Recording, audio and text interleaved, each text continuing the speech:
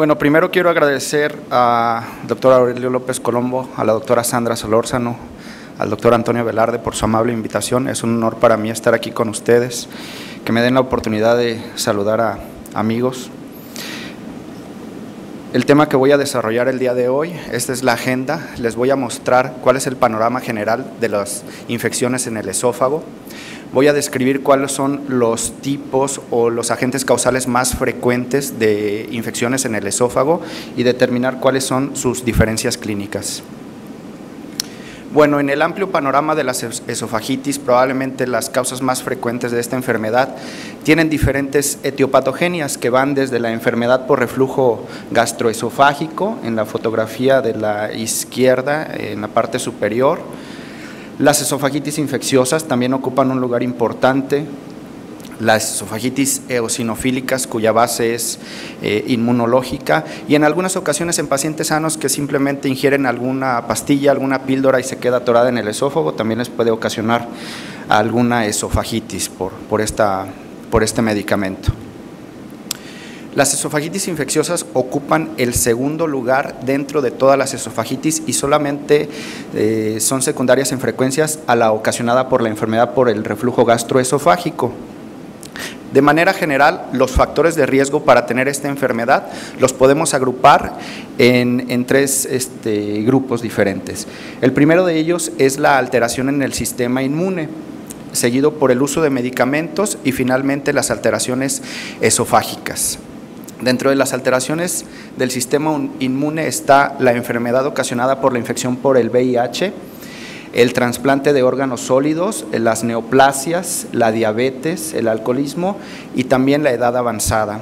Los medicamentos que más se han relacionado con las esofagitis infecciosas es el uso de corticosteroides, el uso de inmunomoduladores, agentes de quimioterapia, también antibióticos y en algunos casos este, no tan frecuentes el uso de inhibidores de bomba de protones o bloqueadores de los receptores H2 de la histamina. Y finalmente, otro de los factores de riesgo que pueden condicionar el desarrollo de esofagitis infecciosas son algunas alteraciones en la motilidad del esófago, estenosis, la presencia de divertículos o daño tisular por cáusticos. ¿Cuándo vamos a sospechar que un paciente puede estar cursando con una esofagitis infecciosa? Bueno, todo aquel paciente que tiene alguno, alguno de los factores de riesgo que les mostré eh, anteriormente, que presenta de manera súbita eh, dolor al deglutir alimentos o dificultad para deglutir alimentos, este es el paciente en el que debemos sospechar la posibilidad de una esofagitis infecciosa.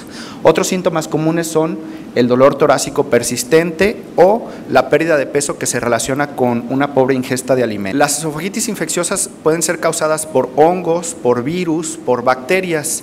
Sin embargo, existen tres agentes que son eh, las causas más frecuentes de esofagitis infecciosas y son eh, el tema central de mi plática. Estos son, dentro de los hongos, la causa más frecuente es la Candida albicans y dentro de los virus, el virus herpes simples y el citomegalovirus. En este esquema les muestro eh, eh, bueno, es una representación esquemática de, las, eh, de los tres agentes causales más comunes de, esofagitis infecciosa. En, primer lugar tenemos la esofagitis por hongos, causada por Candida albicans, que nos, que nos va a producir un exudado en forma de placas de color blanco. enseguida tenemos el virus herpes simples, que nos puede producir algunas úlceras bien circunscritas que endoscópicamente dan la apariencia de un volcán. Y en tercer lugar, el citomegalovirus, que este origina unas úlceras que son más grandes, que pueden ser lineales o longitudinales. Y también es, bueno, es la tercera causa más frecuente de esofagitis infecciosa. Primero, les hablaré sobre la candidiasis esofágica.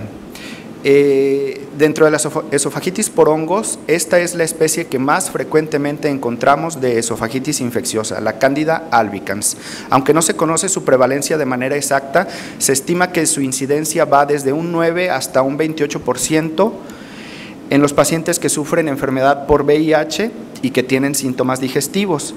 Esta incidencia es menor cuando se realizan estudios en pacientes que son sometidos a endoscopía de manera general, incluyendo pacientes con enfermedad por VIH, eh, y baja hasta aproximadamente un 4%. De manera emergente se está, estamos notando que existen otras especies de cándida, eh, particularmente la cándida glabrata, en la cual ahora se reporta una prevalencia de hasta el 2%. Es importante sobre todo para cuestiones del tipo de tratamiento que les mencionaré eh, más adelante. Los factores de riesgo específicos para una candidiasis esofágica son eh, incluso algunas, eh, algunas condiciones no relacionadas con alteraciones en el sistema inmune, como es el uso reciente de antimicrobianos. Las condiciones relacionadas con alteraciones en el sistema inmune, como la quimioterapia en pacientes que tienen neoplasias, el tratamiento inmunosupresor, la enfermedad por infección por VIH, y el uso de otros medicamentos, principalmente medicamentos que suprimen la secreción ácida del estómago, como los inhibidores de bomba de protones o los bloqueadores H2, y también el uso de esteroides orales.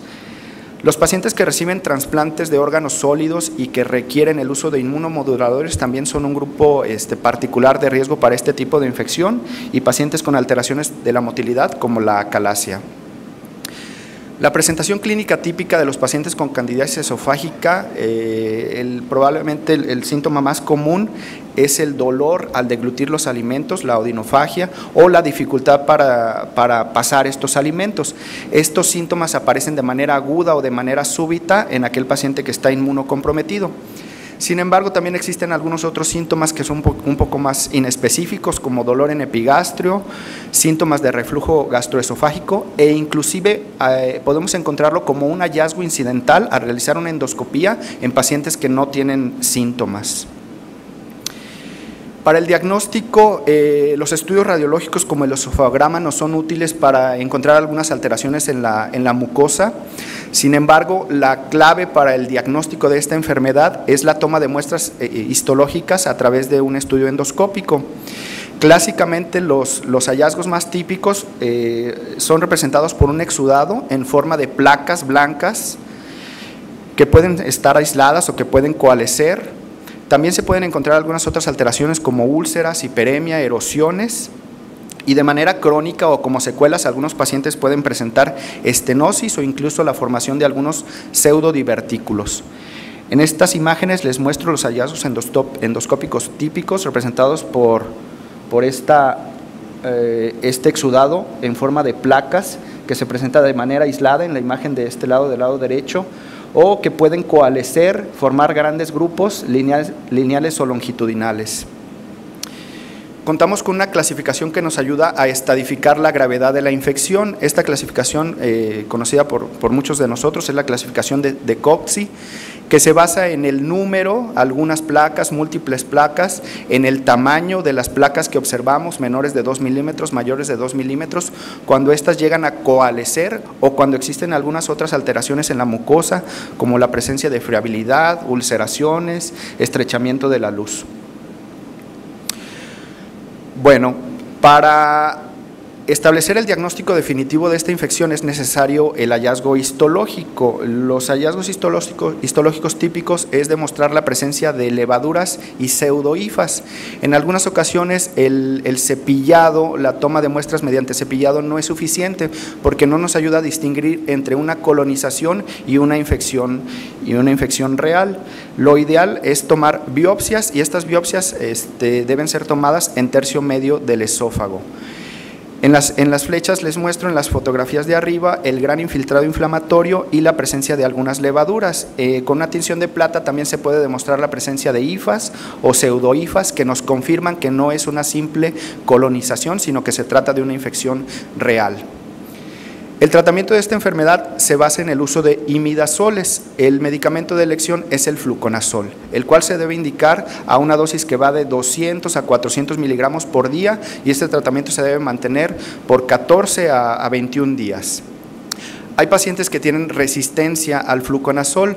En estos casos podríamos tener la consideración de que la especie implicada en la infección no es la Candida albicans y puede ser la Candida glabrata y en estos casos se recomienda el uso de boriconazol en estas dosis. Un tratamiento adyuvante en la medida de lo posible es disminuir el tratamiento inmunosupresor que esté recibiendo el, paciente. Y como sabemos que, los pacientes tienen enfermedades o estas alteraciones inmunológicas son crónicas, como el paciente con enfermedad por VIH, como el paciente que tiene una neoplasia, como el paciente que recibe un tratamiento inmunosupresor, eh, se han intentado métodos de profilaxis para evitar una reinfección, sin embargo, en la actualidad no existe un esquema que haya demostrado eficacia. La segunda causa o el segundo agente causal más frecuente de esofagitis infecciosas es el virus de herpes simples. Este tipo en particular es más frecuentemente encontrado en hombres con una relación 3 a 1. La incidencia estimada es alrededor del 3% en pacientes inmunocomprometidos. Los factores de riesgo principales para este tipo de infección es también el uso de tratamiento inmunosupresor, la, enfermedad por infección por VIH, el trasplante de órganos sólidos, aquellos pacientes que están recibiendo algún tratamiento inmunosupresor debido al, trasplante, las neoplasias, el tratamiento también para las neoplasias. Y de manera este, curiosa se ha visto también, existen reportes de personas que son inmunocompetentes, que no tienen factores de riesgo y que llegan a tener eh, esofagitis infecciosa eh, debida a una infección por virus herpes simples. Aquí la, presentación clínica difiere un poco, este, probablemente lo más frecuente que reporta el paciente es un dolor retroesternal acompañado por fiebre en la mitad de los casos. También puede haber algunos otros síntomas inespecíficos como el dolor en epigastrio, la presencia de hematemesis, tos, dolor en faringe, síntomas eh, inespecíficos como pirosis, anorexia, pérdida de peso y más o menos entre un 20 y un, y un, 20 y un 50% de los pacientes también van a mostrar lesiones típicas de esta infección en boca, en labios y en faringe.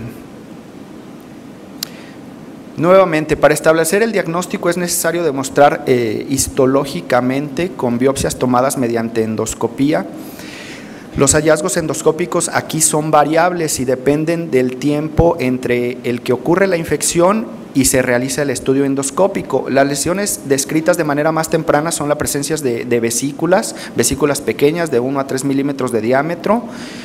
De manera más característica se pueden encontrar úlceras, úlceras bien circunscritas que tienen una apariencia de volcán por sus bordes elevados y que característicamente se encuentran en el tercio distal del esófago.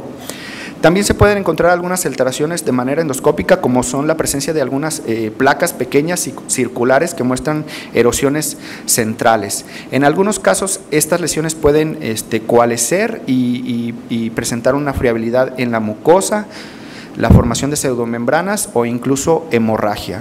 Estos son los hallazgos endoscópicos eh, típicos de pacientes infectados con eh, por virus del, del herpes simples. Las biopsias en este, en este caso, como, como este virus eh, infecta predominantemente el epitelio de la mucosa esofágica, deben ser tomadas de los bordes o, de los márgenes de las úlceras que se observan. Y el hallazgo histológico característico de esta infección es la producción de unas células eh, gigantes multinucleadas del lado izquierdo se muestra una fotografía histológica con tinción de hematocilina y eosina y la, y la flecha nos muestra una célula gigante multinucleada que se puede observar de mejor manera con una tinción de plata. El tratamiento para esta enfermedad eh, es diferente en el paciente inmunocomprometido y en el paciente inmunocompetente. En el, en el paciente inmunocomprometido se recomienda el uso de aciclovir por esquemas de tratamiento que van de dos a tres semanas si no se observa una respuesta clínica adecuada, se, puede utilizar el Foscarnet. En el paciente inmunocompetente, eh, aquí algunos autores consideran que esta infección es autolimitada y tiene una resolución de manera espontánea en una a dos semanas, pero también otros autores consideran que se puede dar un esquema de aciclovir por una semana hasta por, por 10 días. Eh, finalmente, el tercer agente causal en frecuencia de esofagitis infecciosa es el citomegalovirus. Esta infección también ocurre en el paciente inmunocomprometido, en pacientes que son receptores de trasplante de órganos sólidos. Es menos frecuente eh, que la infección causada por cándida o por el virus herpes simple. La prevalencia estimada, aquí, eh, bueno, existe un estudio en donde se analizaron eh, las muestras histológicas de más de 1.500 pacientes con úlceras esofágicas y solamente en 16 de ellos se encontró citomegalovirus para una prevalencia de 0.01%. Sin embargo, se, estima que de manera general alrededor del 1 al 2% de los pacientes inmunocomprometidos pueden tener este tipo de infección. Los factores de riesgo son similares a las infecciones previamente descritas, pacientes con alguna inmunosupresión asociada a trasplante de órganos sólidos este, que están recibiendo pues, estos fármacos, pacientes también con enfermedades eh, reumáticas que son tratados con inmunosupresores, el uso de más de un eh, medicamento inmunosupresor también es un factor de riesgo y aquellos pacientes que cursan con una, eh, con una edad avanzada que tienen alguna enfermedad grave, como puede ser un, un EBC hemorrágico o una cirugía abdominal. Clínicamente los pacientes manifiestan dolor al deglutir los alimentos y dolor retroesternal. Existen otros síntomas que son menos específicos como la fiebre, la náusea, vómito, diarrea, algunos autores eh, especifican que de manera característica los pacientes pueden presentar un dolor en pared torácica del lado derecho o un dolor eh, en epigastrio que de manera característica se empeora cuando el paciente se sienta, se incorpora y camina. Cuando las úlceras son grandes y llegan a comprometer vasos sanguíneos, el paciente puede presentar eh, sangrado, hematemesis y anemia. Para el diagnóstico también es necesario demostrar histológicamente esta infección mediante biopsias tomadas este, por endoscopía. Aquí los hallazgos típicos son un poquito diferentes, las úlceras son más grandes, tienen una forma lineal o longitudinal, eh, característicamente se localizan en el tercio distal del esófago. Eh, los hallazgos histológicos de esta infección este, corresponden a células grandes, células gigantes con múltiples cuerpos de inclusión intranucleares e intracitoplasmáticos, así como la presencia de un este, infiltrado inflamatorio caracterizado por macrófagos. En la fotografía de la izquierda con las flechas se muestran estas células grandes este, multinucleadas con inclusiones intranucleares e intracitoplasmáticas. El tratamiento de esta, eh, infección se basa en el uso del ganciclovir y en aquellos pacientes que no tienen una respuesta adecuada, las alternativas que se describen son el valganciclovir y el famciclovir. Y siempre, en la medida de lo posible, cuando se pueda disminuir la inmunosupresión del paciente, este, será ideal para coadyuvar al tratamiento de ellos. En este esquema les muestro un resumen breve de las diferencias en cuanto a los síntomas, la endoscopía y la histología. El paciente con infección por cándida refiere disfagia o dinofagia, el paciente con herpes virus, dolor retroesternal y fiebre, el paciente con citomegalovirus, odinofagia y dolor retroesternal. Endoscópicamente la cándida nos mostrará placas de color blanco elevadas, eh, en la infección por el virus de herpes, úlceras con una apariencia similar a un volcán y la infección por citomegalovirus, grandes úlceras en tercio distal de esófago de forma lineal o longitudinal. Histológicamente se pueden observar levaduras, ifas o pseudoifas en cándida, células gigantes multinucleadas en herpes y células grandes con eh, cuerpos de inclusión en citomegalovirus. Las infecciones bacterianas eh, representan un grupo muy infrecuente, muy raro. Este, el, factor, el principal factor asociado con este tipo de infecciones es el uso de, quimioterapia.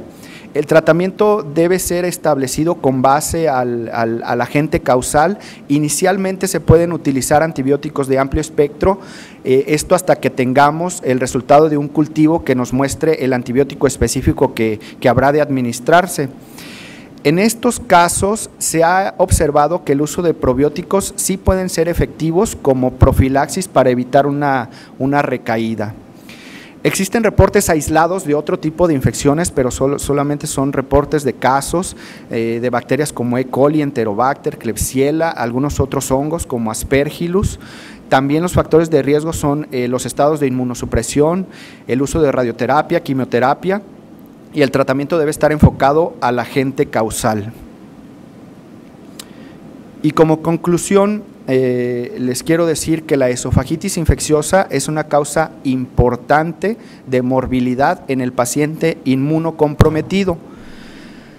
Debemos estar atentos en aquel paciente que tiene algún tipo de inmunosupresión y que de manera súbita presenta disfagia o dinofagia para establecer eh, de manera oportuna el diagnóstico y no retrasar el tratamiento. Y los agentes más comúnmente involucrados en las esofagitis infecciosas son los hongos, especialmente la Candida albicans y los virus, herpes virus y citomegalovirus.